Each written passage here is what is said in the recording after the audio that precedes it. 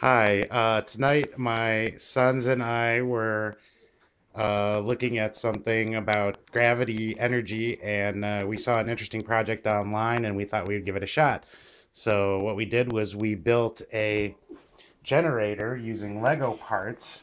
Here we have the basic generator, and uh, here we have some gears on this side.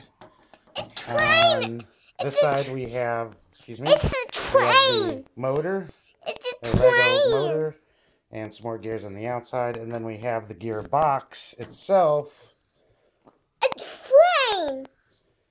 A train. in the inside. Yes, It's it kind of does look like a Daddy. train.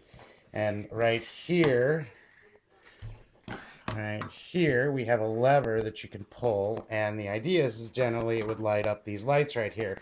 So, Levi, no, thank you. Okay, Steven, give it a shot one more time here.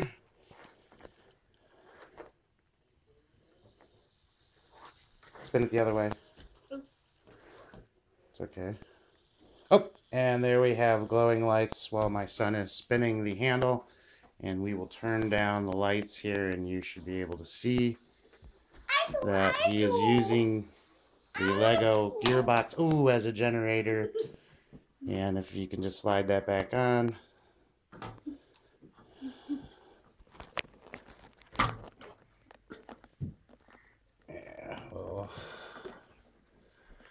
Disaster in the field. And there we go. And it should be back together. You want to tell them about the certain And there it is lighting up again. And what? You want to tell them about the certain way to hold it? Oh, no. Okay. And uh, if you want more details, let me know. Uh, thanks. Bye.